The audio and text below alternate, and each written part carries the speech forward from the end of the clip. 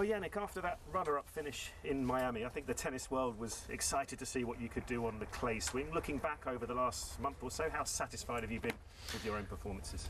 Well, you know, it's. Uh, I think one week was good, one week was bad. I mean, bad no, but uh, you know, I still had to go, you know, a little bit used to the clay, uh, especially in the beginning.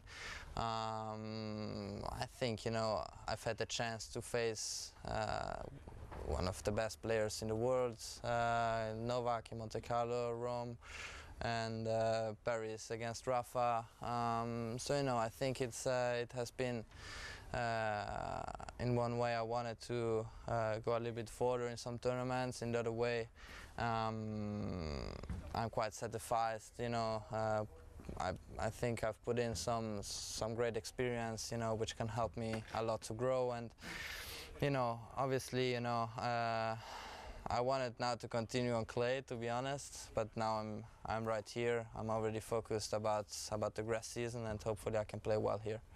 Yeah, of course, with Roland Garros pushed back that, that week and there being no grass tournaments for two years, how tough will the next few days be for, for some players to make this switch from, from, from clay to grass, even more so maybe than normal years? Well, obviously, you know, it's not easy uh, to make this kind of change. Um, first of all, there's not so much time to do that. In the other way, it's uh, going to be very interesting uh, uh to see how players and people are going to uh, used to the conditions. Um, that what I think uh, from my side.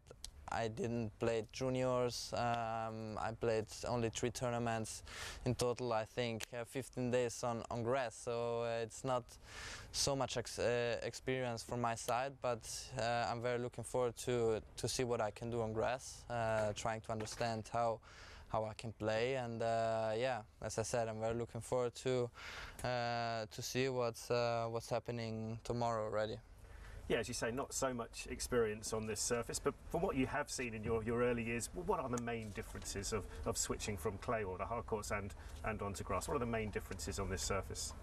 Well, you know, I think you have to understand how to use your shots, especially on this kind of uh, surface. You know, sometimes the grass is doing uh, the job by by his own, um, trying to play uh, simple shots. Um, trying, first of all, trying to understand how to move, which is completely different than other surfaces, and uh, yeah, uh, at the moment I'm not an expert of grass. Maybe ask other players, and then and, uh, then we will see what's happening. I mean, the serve's so important in any surface, but here even more so, and it changed things tactically. Maybe more approach to the net. I mean, tactically it feels completely different. Yes, obviously, you know, trying to use the serve in the best possible way, uh, which can help you a lot, and uh, you know, trying sometimes to go to the net, trying to mix things up, uh, especially you know on this kind of kind of court and surface. And uh, you know, uh, this is what I'm working for. Trying sometimes to approach, trying to go to the net. Um, you know, I think the, with this court it's a little bit easier uh, in one way. In the other way, it's uh, it's not that easy going to the net because you know the stability what you have on your feet is completely different than than other surfaces so it's going to be very interesting it's your first time playing here at the Queen's Club. What are your first impressions of this historic venue? Well, first of all, you know, it's a huge venue, uh,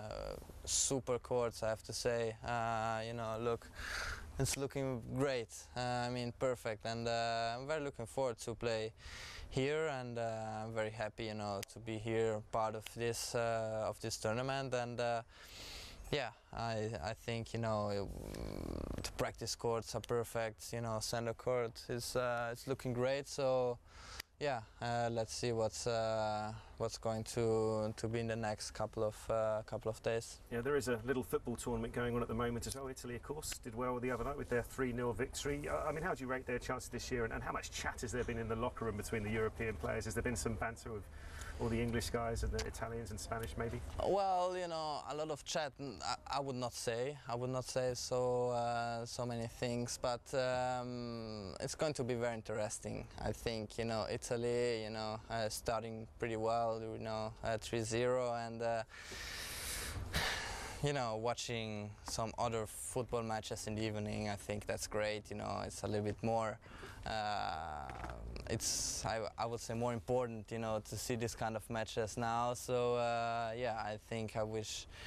Uh, I wish uh, Italy best of luck, and hopefully we can we can show some good football this year.